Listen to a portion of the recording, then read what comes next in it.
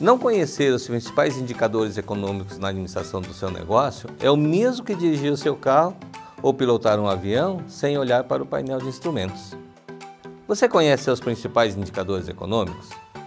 Se você está prestes a iniciar uma viagem com um trajeto de 200 km com 20 litros de combustível, sabendo que, entre o ponto de partida e a chegada, a estrada é deserta, qual informação é mais importante?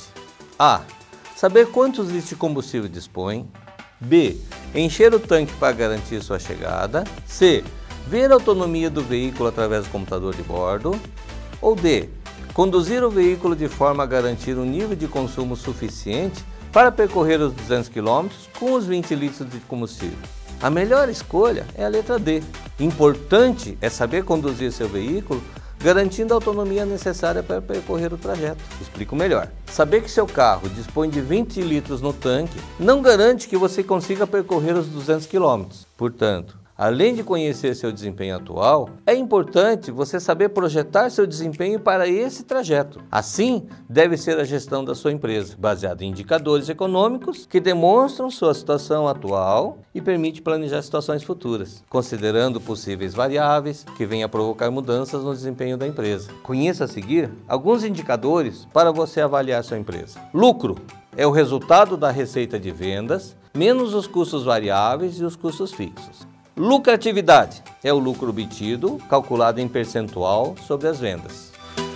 Rentabilidade é o lucro obtido, calculado em percentual sobre o investimento. Esse indicador verifica o percentual de retorno sobre os investimentos realizados na empresa. Margem de contribuição é a diferença entre as vendas e os custos variáveis. Ponto de equilíbrio mostra quanto é necessário vender para que as receitas se igualem às despesas e custos.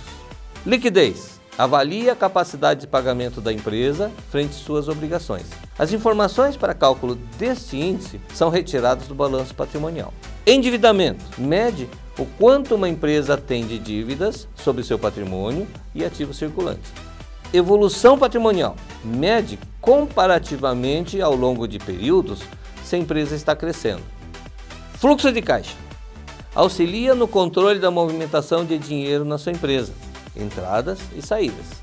Esse indicador oferece condições para visualizar quando e quanto vai faltar ou sobrar dinheiro. Índices de atividades demonstram como estão ocorrendo os prazos nas operações de compras, vendas e giro dos estoques em sua empresa. Ao calcular esses índices, você saberá quais são os prazos que sua empresa pratica nas operações de compras, de vendas e de giro dos estoques. Assim, você poderá adequá-los e administrá-los com o propósito de planejar e garantir que os resultados financeiros sejam os mais adequados. Você achou extenso e técnico? Pois a gestão do seu negócio necessita acontecer com todos esses cuidados, independentemente de qual seja o porte de sua empresa. Saiba definir metas para os seus indicadores. Para estabelecer suas metas, analise alguns aspectos que interferem na definição dos melhores índices. Perfil do público-alvo, tamanho do mercado de participação, número de concorrentes para o seu negócio, porte e comportamento de seus concorrentes, situação econômica do país, situação econômica do seu mercado local, forma de atuação dos fornecedores, engajamento e comprometimento de seus funcionários e comportamento e engajamento dos sócios. Por fim, em caso de dúvidas para analisar e estabelecer metas, procure profissionais para auxiliar você nessa ação estratégica. Sucesso na sua empresa e nos vemos em breve.